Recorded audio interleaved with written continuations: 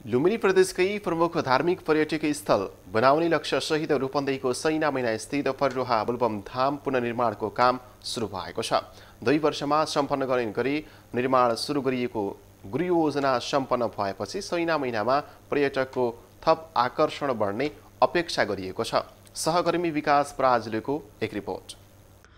Pagoda शैलीमा कलात्मक अग्निशाला दक्षिणको सहायक प्रवेशद्वारलाई प्राचीन कलात्मक शैलीमा बनाउने गुरुयोजना तयार गरी रूपन्देहीको सैना महिना स्थित परवा बोलबम धाममा पुनर्निर्माणको काम सुरु गरिएको छ। लुम्बिनी प्रदेशकै प्रमुख धार्मिक पर्यटकीय स्थल बनाउने लक्ष्यसहित सुरु गरिएको पुनर्निर्माणको नेकपा एमालेका उपमहासचिव विष्णु पौडेलले शिलान्यास गर्नुभएको छ। सो अवसरमा बोल्दै उहाँले गुरुयोजना अनुसारको काम गर्न रकमको अभाव नहुने बताउनुभयो। यो बोलबम धाम पुनर्निर्माणको काम समयमै सम्पन्न होस् यो हामी सबैको साझा अभियाना हो। सबै जनप्रतिनिधिहरूको सबै राजनीतिक दलहरूको तिनका नेता कार्यकर्ताहरूको र आम जनसमुदायको संसारका मित्रहरूको समेत साझा अभियाना हो भन्ने म ठान्दछु।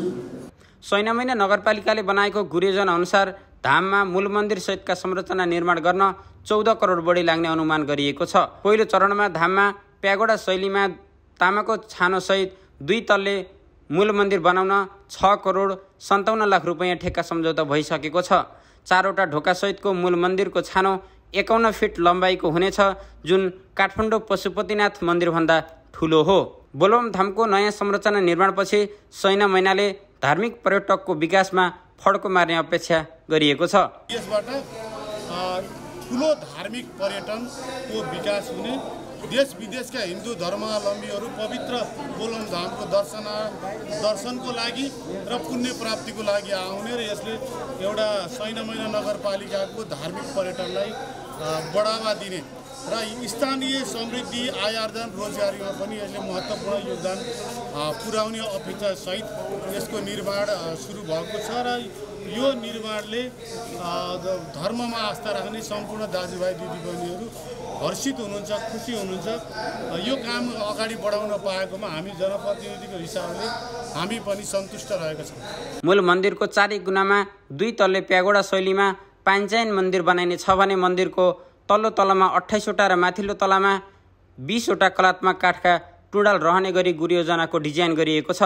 करिब पाँच सय किलोको मूल घण्ट एकाउन्न फिट अग्लो धातुको खम्बा बनाई त्रिशुल र डम्मरू रहने मन्दिरमा साढे पाँच फिटको मूल गजुर रहनेछ।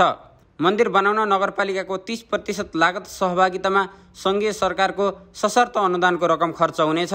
मूल मन्दिरको पूर्वमा आकर्षक मूल प्रवेशद्वार र पश्चिममा पूजापाठ गर्ने कलात्मक गृह बनाइने र विभिन्न देवी देवताका मूर्तिहरूलाई मूल मन्दिरबाट उत्तरमा आकर्षक मन्दिर बनाई व्यवस्थापन गरिने बताइएको छ।